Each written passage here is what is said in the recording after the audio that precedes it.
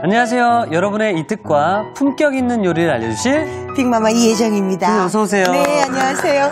네. 선생님 오늘은요. 네, 네. 폼나게 브런치 요리 어떨까요? 그렇게 먹고 싶은 날이 있죠. 있습니다. 예. 네, 그래서 오늘은 유럽을 한번 가볼까 봐요. 오. 유럽 사람들이 즐겨하는 끼시라는 건데요. 네. 아스파라거스 넣은 끼시하고요. 요즘 한창이죠. 맛있는 딸기 젤리 소개하겠습니다. 자, 집에서 즐기는 유럽 브런치인데요. 만나보기 전에 재료 먼저 확인해 보도록 하겠습니다.